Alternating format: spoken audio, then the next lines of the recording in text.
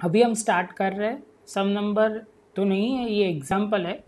Example start करने पे पहले इसमें डाउन स्ट्रीम और अपस्ट्रीम वाला कंसेप्ट है। तो सबसे पहले आपको क्या समझना है? डाउन स्ट्रीम और अपस्ट्रीम में सबसे पहले आपको एक पॉइंट बहुत इंपॉर्टेंट समझना है। जब भी भी डाउन स्ट्रीम और अपस्ट्रीम तो इसमें दो चीज़ का आपको ध्यान रखना है। एक बार आपको समझना है speed of stream speed of stream मतलब पानी के बहाव की स्पीड और दूसरा आपको ध्यान में रखना है कि speed of boat speed of boat अभी समझो कि पानी का डायरेक्शन ये साइड जा रहा है। पानी का डायरेक्शन ये साइड है और बोट की डायरेक्शन भी सेम डायरेक्शन है। सेम डायरेक्शन होगा तो उसको बोलेंगे डाउन स्ट्रीम मतलब पानी की स्पीड और बोट की स्पीड सपोज़ बोट की स्पीड एक्स है और पानी की स्पीड वाटर की स्पीड वाई है तो हम बोलोगे तो आप बोलोगे, सर एक्स प्लस वाई जो होगा वो डाउन स्ट्रीम कहलाएगा। क्या कहलाएगा? डाउन स्ट्रीम सेम वे समझ लो, पानी की डिरेक्शन और बोट की डिरेक्शन अपोजिट है। तो आप बोलोगे, सर, इसमें कुछ नहीं एक्स माइनस वाई होगा। मतलब बोट की स्पीड में से पानी की स्पीड ऑटोमेटिक उसमें से माइनस करके जो मिलेगा, उसको अपस्ट्रीम बोलते हैं।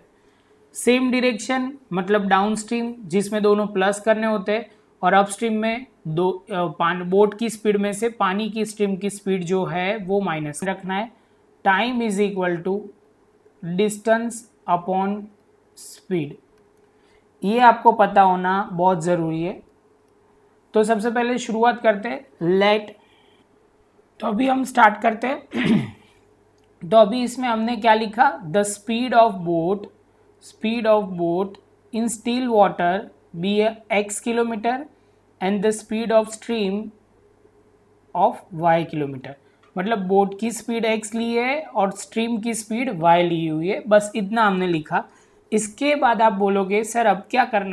अब हम स्टार्ट करते हैं। सम की कंडीशन फ़र्स्ट कंडीशन पढ़ते हैं। तो सम की फ़र्स्ट कंडीशन में बोला गया है the boat goes thirty kilometre upstream thirty kilometre upstream जा रही है and forty four kilometre downstream जा रही है इन टेन आवर्स तो आप बोलोगे according to first condition sir तो आप बोलोगे सर यहाँ पे देखो थर्टी किलोमीटर जो जा रही है डिस्टेंस पहले तो आप लिखो डिस्टेंस है थर्टी किलोमीटर स्पीड है तो आप बोलोगे सर यहाँ पे अपस्ट्रीम है अपस्ट्रीम है तो आप बोलोगे एक्स माइनस वाई और यहाँ पे आप बोलोगे कि डाउन स्ट्रीम है तो फोर्टी फोर और डाउन स्ट्रीम आप बोल रहे हो तो यहाँ पे लिखेंगे एक्स प्लस वाई और कितने आवर्स में? तो मिला के टेन आवर्स में।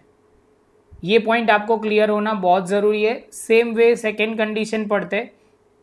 सेकेंड कंडीशन में क्या दिया हुआ है?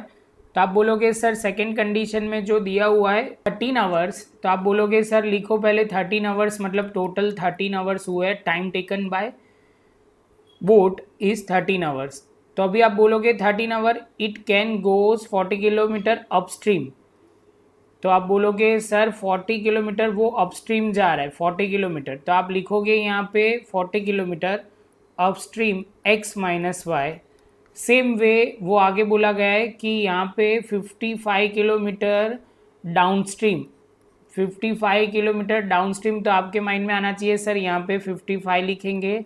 और एक्स प्लस वाई जैसे ये हमारा कंप्लीट होगा तो आप बोलोगे, सर, इतना तो हमें क्लियर हो गया। तो हम क्या करेंगे? अभी ये हमारा लीनियर इक्वेशन रेडी हो गया। लीनियर इक्वेशन को अभी हम रिड्यूसिंग फॉर्म में लिख के सॉल्व करने का ट्राई करेंगे। तो अभी हम लेट कर रहे हैं। लेट वन अपॉन पहले माइनस है तो माइनस लिखते one upon x minus y is equal to a x plus y is equal to b तो आप बोलोगे, सर, यहाँ पे आप लिखोगे thirty a plus forty four b is equal to ten ये ध्यान रखना टेक्स्ट बुक में थोड़ा अजम्पन आगे पीछे लिया है तो कन्फ्यूज़न मत होना आंसर सेम ही आएगा। Same way forty a plus fifty five b is equal to thirteen तो अभी आप बोलोगे, सर मल्टीप्लाई करना है इक्वेशन को इक्वल करना है एज अ एलिमिनेशन मेथड ये इक्वेशन वन हो जाएगा, ये इक्वेशन टू हो जाएगा. तो आप बोलोगे, सर एलिमिनेशन मेथड से आपको मल्टीप्लाई करना है। जैसे हम मल्टीप्लाई करेंगे तो आप बोलोगे, सर, यहाँ एक्स के कोऑफिशिएंट को हम इक्वल करेंगे, हमारे एक्स की जगह यहाँ क्या बोला जाएगा? तो आप बोलोगे, सर, आप एक्स की जगह यहाँ बोलोगे ए के कोऑफिशिएंट को। तो पहले वाले इक्वेशन को 40 से मल्टीप्लाई करेंगे, दूसरे वाले इक्वेशन को आप बोलोगे, सर, आप मल्टीप्लाई करोगे किस से? 30 से। ओके तो अभी हम आगे चलते हैं। तो यहाँ लिखेंगे मल्टीप्लाई करते करते हमारा पहुँच जाएगा one two double zero a forty four into forty तो आपका होगा one seven six zero b और यहाँ हो जाएगा फोर हंड्रेड। सेम वे नीचे लिखेंगे फोर्टी इंटू थर्टी तो twelve hundred a plus fifty five into thirty तो आप बोलोगे सर होगा one six five zero b is equal to three ninety. ये हो जाएगा इक्वेजन थ्री और ये हो जाएगा इक्वेजन फोर। एज यूजल आप लिखते हो, वही लिखेंगे। अभी हमें लिखा subtract the equation four from equation three तो हम इक्वेजन लिखना शुरू करते हैं।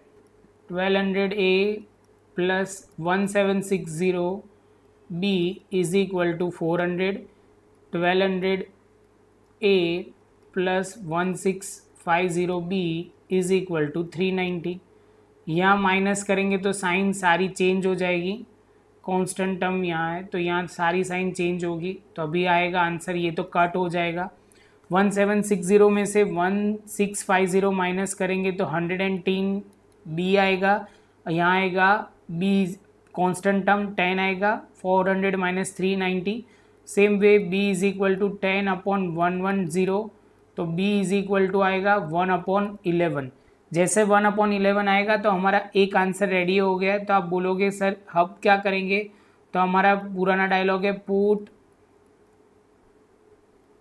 b is equal to one by eleven in equation आपको कौन से वाले में रखना है? तो आप बोलोगे, सर इक्वेजन वन तो यहाँ लिखेंगे thirty a plus forty four b is equal to ten आप बोलोगे, सर, कहाँ से लेके आए? तो ऊपर इक्वेजन वन आपको दिख ही रहा है। सेम वे यहाँ लिख दिया thirty a plus forty four और बी की जगह लिखा जाएगा one upon eleven is equal to ten thirty a plus यहाँ कट हो जाएगा तो फोर हो जाएगा, four is equal to ten, thirty a is equal to ten minus four, six by thirty, a is equal to one upon five. तो हमारे पास दो equation के आंसर रेडी हो गए।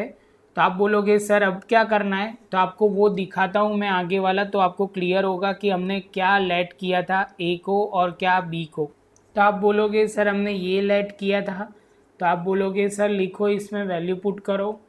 One upon x minus y is equal to a की जगह आप बोलोगे, सीधा लिखो, sir one by five cross multiplication करेंगे तो आप बोलोगे, सर, यहाँ हो जाएगा फाइव और एक्स माइनस वाई ये हमारा एक ख़त्म हुआ, अभी सेम वे दूसरा करते हैं। तो आप देखोगे, सर, यहाँ one upon x plus y है वाई की जगह हमने बी की जगह हमने क्या लिखा? One upon eleven cross multiplication same way तो आप बोलोगे eleven is equal to x plus y जैसे ये पॉइंट कंप्लीट होता है तो आप बोलोगे, सर, ये तो फिर से एक इक्वेशन आ गया. हाँ ये दोनों इक्वेशन को सिंप्लीफाई करेंगे, बाद में हमारा सम आएगा। तो हमारा one two three four equation हो गए थे, अभी इसको इक्वेशन फिफ्थ नाम देंगे इक्वेशन सिक्स नाम देंगे, लेकिन ध्यान रखना इसमें डायलॉग चेंज हो जाएगा, जो आपको देखना है। Adding equation three and four आप बोलोगे, सर, ऐसा क्यों किया? तो ध्यान से आप देखोगे तो यहाँ इक्वेशन में यहाँ पे माइनस है और यहाँ पे प्लस है। और एक्स के वाई के कोऑफिशिएंट दोनों सेम है। तो आप लिखोगे, यहाँ पे मैं लिख रहा हूँ ऐड करके हम यहाँ लिख रहे हैं। तो लिखेंगे x minus y is equal to five x plus y is equal to eleven solve करते ये वाई वाई कट हो जाएगा, ये टू एक्स हो जाएगा और ये हो जाएगा eleven plus five is equal to sixteen sixteen divide by two तो x इज़ इक्वल टू हो जाएगा eight same way put x is equal to eight in equation number आप बोलोगे सर फाइव में लिख दो. तो फाइव इक्वेजन क्या है? X minus y is equal to five तो आप बोलोगे, सर, यहाँ पे इक्वेशन एक्स की जगह आप वैल्यू पुट करोगे क्या? एट वाई का हमें पता नहीं है is equal to five y is equal to five minus five minus eight तो आ जाएगा थ्री या माइनस थ्री तो वाई इज़ इक्वल टू हो जाएगी थ्री तो अभी आप बोल सकते हो कि, सर, अभी बोट की स्पीड आपकी फाइनली आ गई हमारी आप बोलोगे, सर, अभी हमारी फाइनली बोट की स्पीड आ गई। आप बोलोगे the speed of boat it eight kilometre per hour and the speed of stream is equal to three kilometre per hour ये हमारा फाइनल आंसर होगा। आई होप कि आपको ये समझ में आया होगा और